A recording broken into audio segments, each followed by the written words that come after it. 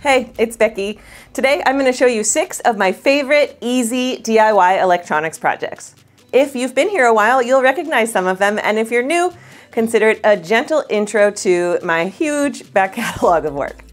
A portion of this video is sponsored by Keysight Technologies. First up is this basic LED circuit. In my video, I walk you through the basics of wiring up your first light up circuit, whether you're making a Halloween prop or like a floral centerpiece. Next up is constellation embroidery. This project combines the power of electricity with hand stitching techniques to illuminate the star pattern on fabric. And I've made a pattern for each star sign. Let's move on to a crowd favorite, the Baguette Wobbler Robot. This project uses a few modified servos, a battery pack, and a shellacked loaf of bread. Self-driving carbs. Dialing up the camp, here's my LED Cylon scooter. This one is really cool. It uses LED strip to animate a Larsen scanner effect in the grill, making my 80s scooter look like something straight out of a sci-fi movie. Also from the 80s. The fifth project I want to share with you is my webcam privacy friend. With this nifty device, you can easily control when your webcam can see you, and it automatically closes after the timer has elapsed.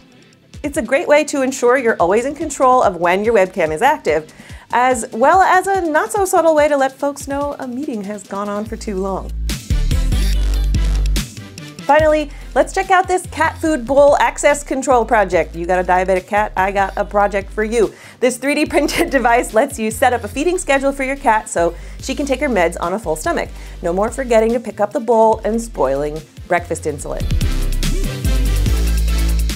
Before you go, I want to tell you about a fascinating deep dive on USB-C by Keysight Technologies, the sponsor for this portion of the video. This use case and application note describe testing USB power delivery, like you'd need in order to develop a product that takes advantage of all that USB-C technology has to offer. Keysight has a series of solutions use cases that show leading edge capabilities in the electrical engineering test and measurement field including this particular one about how to test USB Type C power delivery using leading edge tools. I hope you'll check it out at the link below. There you have it, six easy DIY electronics projects as promised. I hope this video has inspired you to create something amazing, and I'll see you next time.